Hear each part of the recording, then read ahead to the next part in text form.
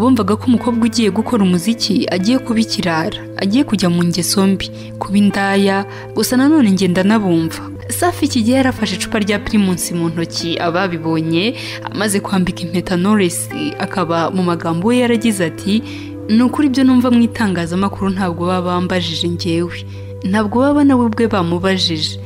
Ndamukunda. Ahangaha noneho urukundo rwa Knowless na Safi rwaje kongera gushimangirwa no gutura mu nzu imwe aho aba bombi bamaze amezi asaga atandatu babana mu nzu. King James rero mu mubano yagiranye na Knowless amaze kumva gahunda uyu mukobwa afite. King James rero ibyo gukora iyi ndirimbo yaje kubyanga ku munota wa nyuma ahubwo ahitamo gusohora indirimbo yitwa Parapara nyuma yo kugaragara ko Butera Knowless ashobora kuba yarubatse urugo afite inda nkuru yabajijwe ku cyo avuga ku bakobwa bafata icyemezo cyo gukuramo inda kubera impamvu zitandukanye.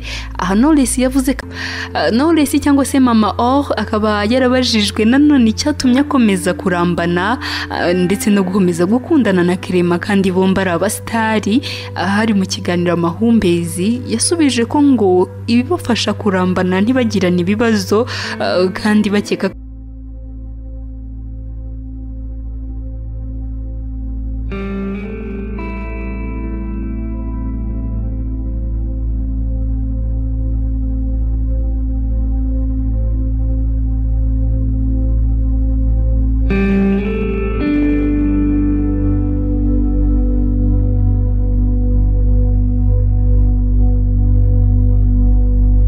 Ingabire Butera Jeanne d'Arc niyo mazina asanzwe y'umuhanzi uzwi ku izina rya Knowless uyu wavukiye mu karere ka Ruhango aho mu hahoze hitwa Gitarama akaba yaravutse tariki ya mbere z'ukwezi kwa cumi umwaka w'igihumbi magana cyenda mirongo cyenda. Akavuka ari ikinege ni mwene Jean Marie Vianney Butera ndetse na Marie Claire Uyambaje aba ni ababyeyi be bombi bakaba baritabye imana bombi muri jenoside yakorewe abatutsi. Iki gihe Knowless yari afite imyaka ine y'amavuko ubwo yabaga imfubyi ku babyeyi bombi kandi yari yaranavutse ari ikinege bikaba bivuze ko nta wundi mwana bavukanaga. Ubuzima bwa nyuma yaho bwabereye ingabire Jeanne d'Arc bubi kuko yari umwana w'ikinege wagiye uba mu miryango itandukanye ndetse rimwe na rimwe akagenda anibeshaho. Mbere y'uko twerekeza ku buzima bw'urukundo bwa Knowless ari naho turi bwibande cyane reka turebe gato ko yisanze ari umuhanzi. Ubundi Knowless we ubwe yivugira ko yari afite inzozi zo kuzaba umusirikare cyane. Akavuga ko cyane cyane nko ku bana babuze ababyeyi babo muri jenoside abenshi bakuze bumva bazaba inkotanyi kuko biboneye n'amaso yabo ko kuba inkotanyi ari ugukiza abantu. Si ibyo gusa kuko nanone Knowless yifuzaga nanone kuzaba umuganga uh, kugira ngo ajye avura abantu ndetse no gukiza abandi muri rusange. Mu kiganiro yagiranaga na Yago agatanga impamvu ko ibi byose uko yifuzaga kuzagirira akamaro kandi gakomeye abantu benshi. Knowless amashuri abanza yayize ku Kacyiru mu kigo cya Escaf aho ayisumbuye yayakomereje mu ruhango mu kigo cya Parud nuko aza kuyarangiriza i Nyamirambo mu ishuri rya Apase. Akaba yarize ishami rya Computer Science and Management. Knowless kandi muri iki kiganiro turi kugarukaho yagiranye na Yago agashimira cyane ikigega Farge cyamufashije mu bijyanye na Minervare kugeza arangije segonderi kaminuza yikomereje muri kaminuza yigenga ya kigali cyangwa se iyerika mu ishami rya finance ari naho yarangirije. Knowless rero akivugira ko ubuhanzi yabutangiye akuye impano kuri nyina umubyara uyu nyina ngo akaba yararirimbaga muri korali yo mu badivantiste b'umunsi wa karindwi. Knowless kandi ngo akaba nawe yaririmbaga muri korali y'abana bato iyo babaga bagiye gusenga. Knowless kandi yanaririmbye muri korali yitwa maranata aho yaririmbanaga n'umuhanzi tonzi ndetse na Clement uwabaye umugabo we. Ndetse n'abandi bagiye batandukanye. Aha akaba yarigaga mu mashuri yisumbuye ubwo Clement yigaga mu mwaka umwe imbere ye. Mu kiganiro cyitwa amahumbezi kuri radiyo rwanda Knowless yigeze kubazwa ukuntu yabonaga Clement bakiga ku kigo kimwe ndetse bakanaririmbana muri maranata aha yasubije ko Clement ngo yari umusore ufite isuku cyane kandi uzi kwiyitaho wahoraga ku cyangwe nk'uko bivugwa kuri ubu ngubu. Gusa ngo Clement yari umwana muri segonderi uhora yateye ipasi iniforume ze inkweto ze zihora zikeye kandi ngo ari umusore udasamara. Gusa ahangaha ntibakundanaga ahubwo ngo bafatanaga nk'abavandimwe bisanzwe. Kuko ahangaha Knowless akiri mu ishuri yatangiye kumenyana n'abamutanze mu muziki nyarwanda barimo na Safi kuko nawe basenganaga mu badivantiste b'umunsi wa karindwi kandi akaba ariyo yari intumbero ye yo kumva ko nawe yaririmba ku giti cye akava muri korali. Kandi buriya ngo mbere yo gukundana Knowless avuga ko ngo yafataga Safi nk'umuvandimwe ndetse bakanasurana cyane mu miryango ari na byo byaje kubyara urukundo rwubatse n'amateka akomeye nawe waje kumenya. Ahari mu kiganiro yagiranye n'igihe aho yabyivugiye ati safi twarakundanaga ntabwo twahujwe n'umuziki. Na mbere y'uko nkundana na safi yari umuvandimwe wanjye nk'uko hari ibyo yamfashagamo nanjye kandi hari ibyo namufashagamo nk'umuvandimwe ibyo ko twageze igihe tukaza gukundana. Ngo mu byatumye bashimana kandi ngo harimo kuba barasengeraga mu itorero rimwe nk'uko twabivuze haruguru ndetse ngo hari byinshi bitazasibangana mu mitima yabo bari bahuje. Safi nawe rero ku rundi ruhande akavuga ko yakundaga Knowless nk'umukobwa witondaga kandi wakundaga gukora bikongererwa ingufu n'uko biyumvanagamo. Icyo gihe rero mu mwaka w'ibihumbi bibiri n'icyenda safi wari ufite n'aho amaze kugera kuko bajya gukundana Urban Boys yari imaze kwandika izina ibi byari bimworoheye cyane kureshya umukobwa nawe wamubingutse kandi ushaka kugira icyo ageraho mu muziki nyarwanda yamutanzemo. Nguko uko safi rero yakundanye na Knowless wari umutangizi mu muziki inkumi y'amasoni yarangazaga benshi kubera uburanga bwe ariko akagira ubuhanga buke mu kuririmba kimwe n'abandi benshi bagitangira byumvikana ko yari akeneye umuntu umufasha umuhora hafi kandi akanamufasha kwiyubaka mu by'uyu muziki. Nk'uko twabigarutseho kandi ko banamenyanye Knowless atararangiza segonderi urukundo rwabo rwakajije umurego mu mwaka w'ibihumbi bibiri na cumi. Knowless agisoza amashuri yisumbuye ni nabwo yakoze indirimbo ye ya mbere yitwa nyumva aho yafatanije na Young Junior wari inshuti magara na Safi. Knowless rero akenshi yabajijwe iby'umuziki we anagaruka kuri Safi wamujyanye bwa mbere muri studio akanamufasha gusohora indirimbo ye ya mbere mu mpera z'umwaka w'ibihumbi bibiri na cumi. Abigiriwemo inama na safi nyine ndetse na kamishi abasore bari inshuti z'icyo gihe akirangiza yisumbuye. Safi ni we washakiraga Knowless uburyo bwo kuririmba mu bitaramo aha bikaba binazwi neza ko ahenshi mu hantu hambere Knowless yagiye aririmba yabaga yabigiriwemo na safi wasaga nk'aho amusunika. Kenshi kandi byagiye bivugwa ko hari indirimbo zitandukanye safi yandikiye Knowless ndetse akanamujyana muri studio. Si ibi gusa kuko nk'umuhanzi wari ugitangira hari byinshi yari anakeneye kumenya ndetse no kugera aho yafashijwemo na safi mu buryo bwihariye kuko ku rundi ruhande safi nawe yabaga ari kwereka umukobwa akunda ko ari umusore ushoboye kandi wagira icyo amugezaho. Ubufatanye bwabo bwarakomeje aho Knowless yagiye agaragara mu ndirimbo zitandukanye za Urban Boys nk'indirimbo imwe bise umwanzuro aho safi umwe mu bagize iri tsinda yari kumwe na Knowless ndetse n'uwitwa Nizo nawe akaba yari yakoreshejemo uwitwa Sasha bakundanaga muri icyo gihe. Bose ni we mwanzuro kugukunda iteka niwo mwanzuro. Ndetse bikavuga ko buri wese yifuje gukoresha umukunzi we muri iyo ndirimbo kuko ibyo baririmbaga ari cyo bashakaga gusobanura n'ubundi. Safi nawe rero akaba yaragiye agaragara mu ndirimbo zitandukanye za Knowless nk'indirimbo imwe Knowless yise byarakomeye akaba ari indirimbo byavuzwe ko Knowless yari yahimbiye safi. Wagarutse kenshi usubira mu kunkunda nonaho bigeze kuri njye mbona byarakomeye. Sinkwishisha. Byarakomeye rero ibyabo biza no kugera n'ubwo aba bombi ngo bigeze no guhuza konti muri banki imwe zikorera mu rwanda bityo bafatanya gucunga umutungo wabo nubwo nta kimenyetso ntakuka cyagiye ahagaragara cyemezaga ibi ngibi ariko byaravuzwe cyane muri ibi bihe. Gusa Knowless nawe ubwe rero ntajya kure ko yageze kuri byinshi abikesha safi mu gihe bamaranye ariko akanavuga ko ngo hari ibyo atabasha kurondora yungutse bamaze gutandukana.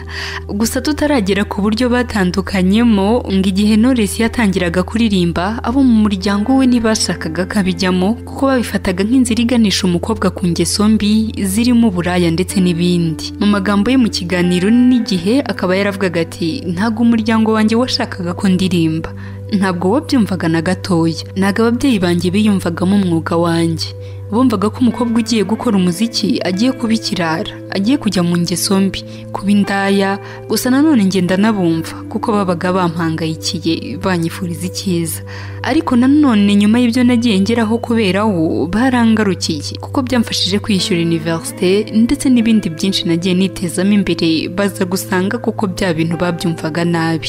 Mukunzi w'inkuru y'urukundo rero reka tugaruke ku gihe imiryango Knowless yabagamo yari yanze ibyo yari agiyemo byo kuririmba. Ibi byatumye uyu mwana w'umukobwa hava ajya kwibana ariko akaba nta mafaranga ahagije yari afite yo kumubeshaho byose n'ubuzima bwa gisitari yari amaze kugeramo. Ahangaha noneho urukundo rwa Knowless na safi rwaje kongera gushimangirwa no gutura mu nzu imwe aho aba bombi bamaze amezi asaga atandatu babana mu nzu. Gusa ntibyatinze kuko igihe cyarageze baratandukana buri wese ajya kwibana mu nzu ye. Uku gutandukana kwabo mu nzu bikaba byaraturutse ahanini ku mwuka mubi wari utangiye kuza hagati yabo. Icyo gihe hakaba hari mu mpera z'umwaka wa bibiri na cumi na rimwe ubwo safi yahise ajya kwibera mu nyakabanda Knowless ajya gutura kacyiru. Nk'uko ntawe utwika inzu rero ngo ahishe umwotsi umwaka wa bibiri na cumi na rimwe ujya kurangira byaramenyekanye ko safi na Knowless batandukanye. Gusa bo bakomeza kubigira ibanga bakavuga ko nta kintu na kimwe cyabatandukanya gusa uko iminsi yagiye ishira ukuri kwagiye kwigaragariza buri wese dore ko bari batanagisangira haba mu maresitora mu tubari kugendana mu modoka ya safi gusohokana gufashanya mu muziki ndetse n'ibindi.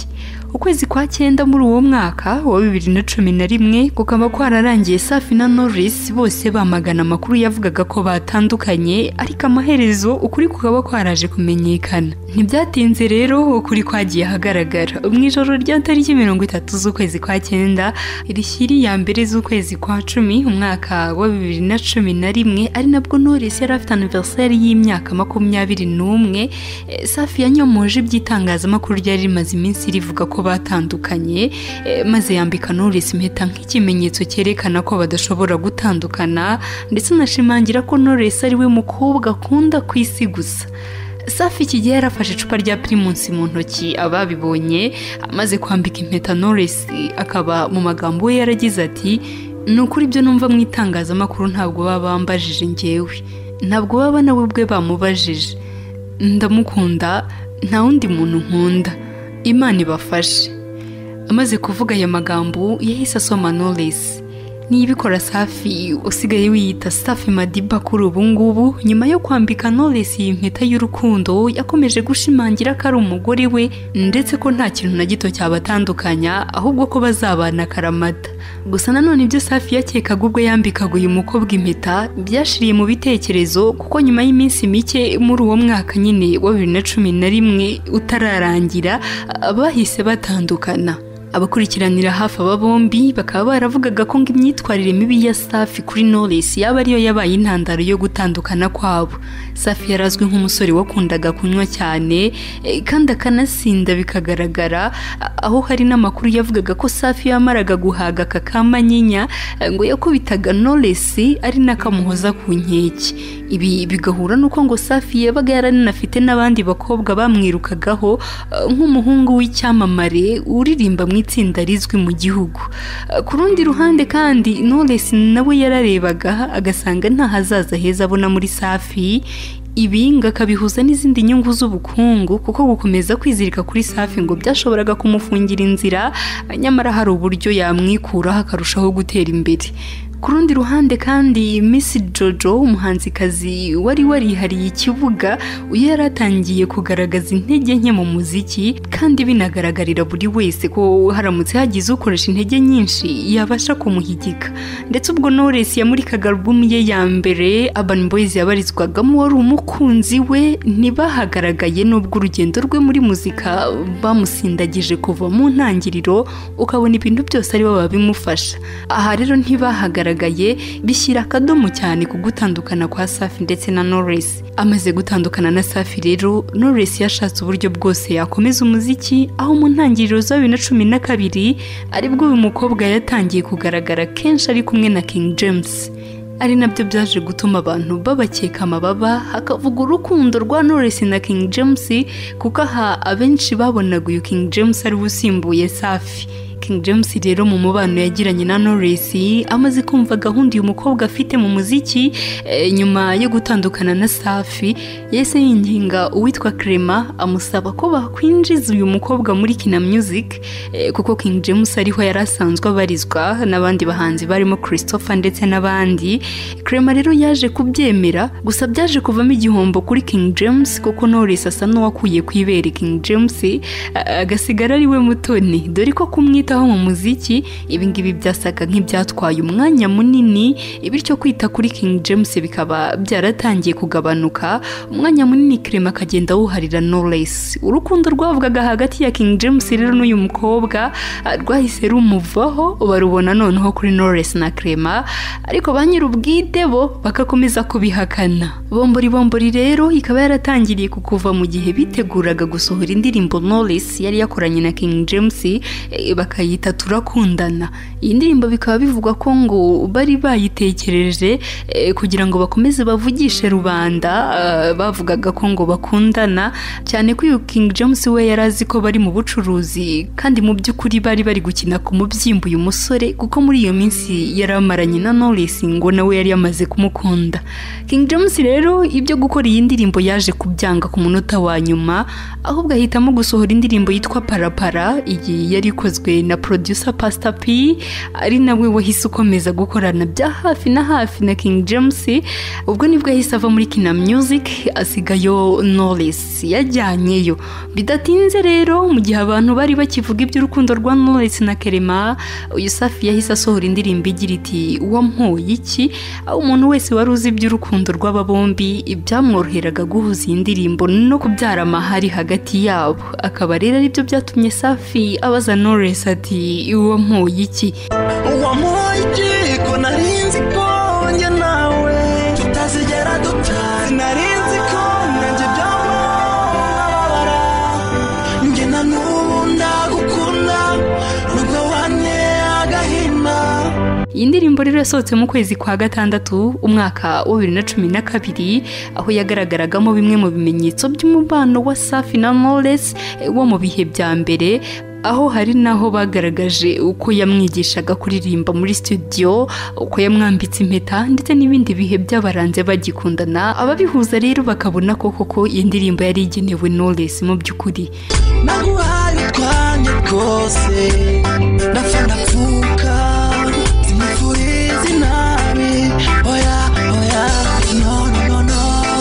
Ndirimbo rero yaje gusubizwa mu marenga. Aho Knowless nawe muri Kina Music yahise asohora indirimbo igira iti wari urihe iyi ngiyi ikaba yarasaga n'ihenura kuri Safi. Igasingiza urukundo arimo na producer Clement nk'uko abantu benshi babikekaga. Wari urihe iyo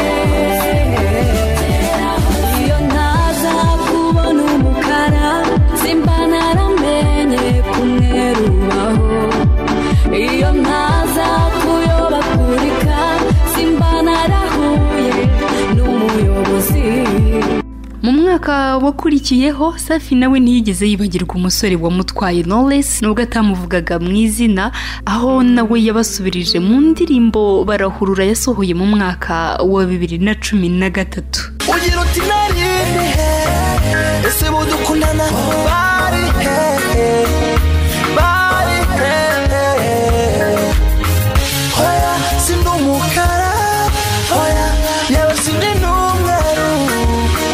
Kerima nawe muri iyi minsi akaba yarakomeje ahamya ko Knowless ari umuhanzi abereye manager eh, nta by'urukundo birimo aho umukobwa nawe iyo itangazamakuru ryamubazaga yavugaga ko mu by'ukuri nta rukundo rudasanzwe bafitanye na ruke aho nyuma y'aho Knowless yinjiriye muri Kina Music yateye imbere cyane kandi byihuse eh, mu buryo atanakekaga anabyemereza mu kiganiro yagiranye n'igitangazamakuru kimwe hano mu Rwanda mu mwaka w'ibihumbi bibiri na cumi na gatanu aho Knowless yagize ati ntabwo navuga ko aho ngeze ubu nahagereranya n'aho narindi mu mwaka w'ibihumbi bibiri na cumi. Kuko nari nkiri muto ntaraba amacuwa safi nawe kandi yari mutoya ndetse ubushobozi nabwo ari buke.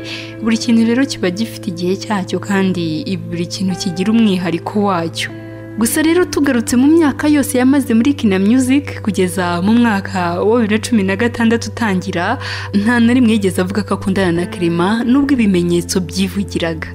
Knowless ahangaha yavugaga ko nyuma ya safi nta wundi musore bigeze bakundana muri iyi myaka yanavugaga ko ibyo ngibyo atabiha umwanya cyane ko wari kureba akazi n'indi mishinga yatuma umuziki we utera imbere. Knowless yari yarafungutse mu mutwe azi icyo gukora kandi atari umukobwa usamaye. Knowless kandi yakunze kubazwa kenshi niba koko atajya yumva adashaka kubazwa ku rukundo rwe na Safi ahubwo yivugiye ko aba yumva ari ibisanzwe kandi ko ari inkuru yabayeho kuko nta muntu wigeze uyihimba. Anongeraho kandi ati nta pfunwe binteye kuko ntahashize hanjye. Iyo utamenya aho uva rero n'ubundi ntunamenya aho ugana.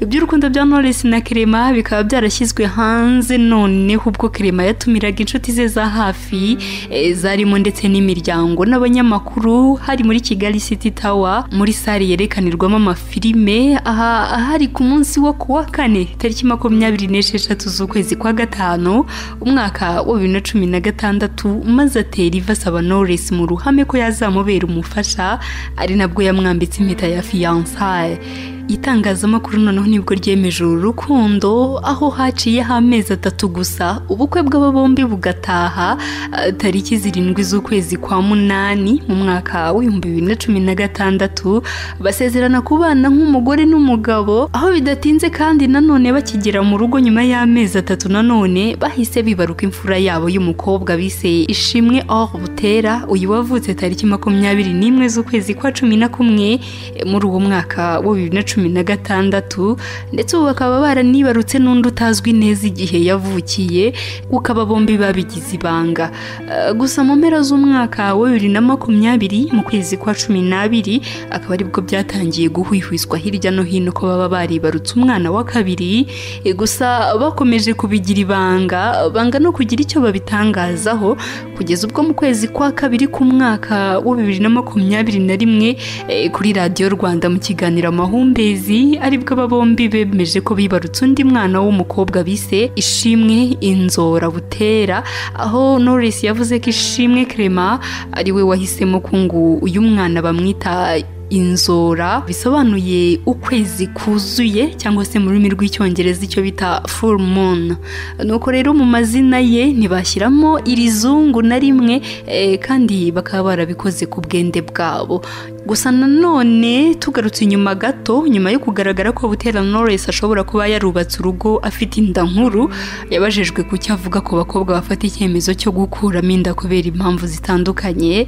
Aha Knowless yavuze ko adashyigikiye icyemezo cy'umukobwa wiyemeza gukuramo inda kuko ngo iyo Imana yemeye ko umukobwa atwita ngo iba yamaze gucira inzira uwo mwana.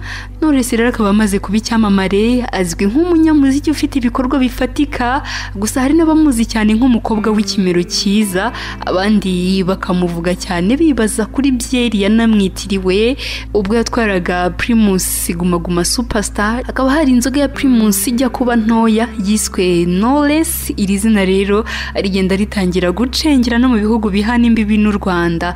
Uyu ni umugore w'umunyabigwi mu Rwanda no hanze yarwo.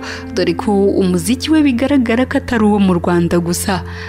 Knowless anafatirwaho urugero mu bakobwa bakora umuziki muri iki gihe wateye imbere bigaragara ndetse aza imbere no mu bakunzwe banafite amafaranga menshi ndetse n'ibikorwa bibyara inyungu. Ibi byerekana ko ari gukora umuziki ugamije ubucuruzi kandi wamuhiriye cyane koko.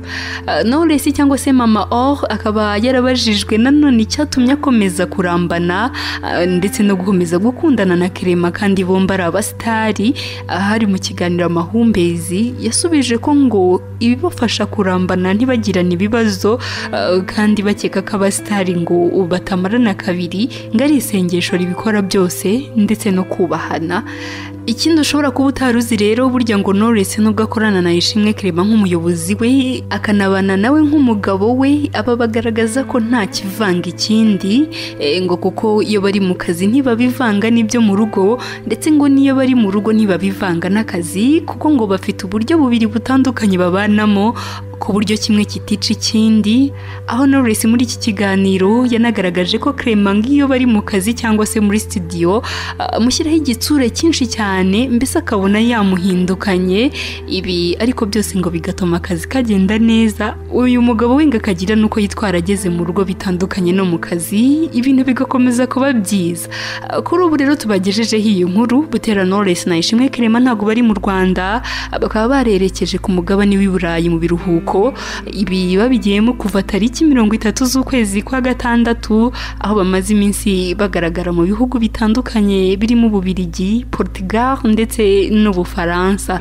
Iyi couple rero iratuje irakundana eh, kandi ni bamwe mu basitari bo mu Rwanda bahisemo kudashyira abana babo ku mbuga nkoranyambaga nk'uko bisanzwe bizwi ku basitari baba bo mu Rwanda ndetse no hanze yarwo aho umwana avuka atera ikirenge mu cy'ababyeyi be aba rero bo bakivugira ko abana nibakura aba bazagira amahitamo yabo ko kandi binashoboka ko ibyo babakoresha batabizi bashobora gukura bakabyanga.